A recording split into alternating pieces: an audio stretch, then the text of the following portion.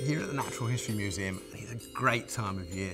Festive fun everywhere. The place is packed with people coming in to see what we've got. This is mistletoe. This is a parasitic plant. It's, it's a hemiparasite. It makes some of its own food.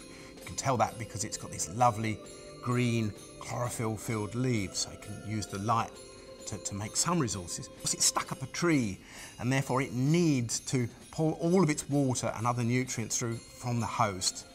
It looks like a big green bird's nest, and the birds try to eat the seeds, but the outer layer of the seed is really sticky and unpalatable, and therefore the birds don't easily swallow the seeds. They get stuck to their beaks, and they try to sort of wipe them off on the bark of, of other trees that they land in, and also dislodge the seed and stick it just where it's going to germinate and grow into a, a new plant.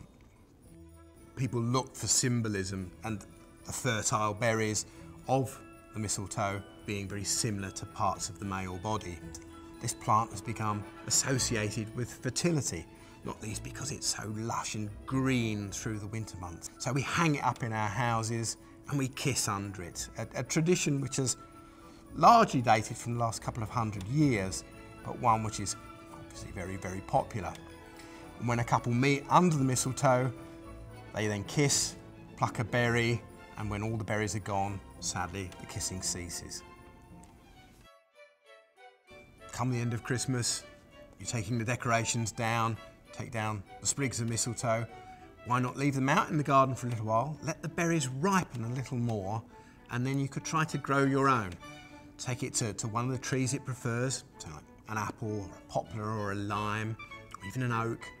Just make a small incision in one of the thinner branches that you can reach and smear the seed in. And it will glue itself in and hopefully germinate within a, a month or two.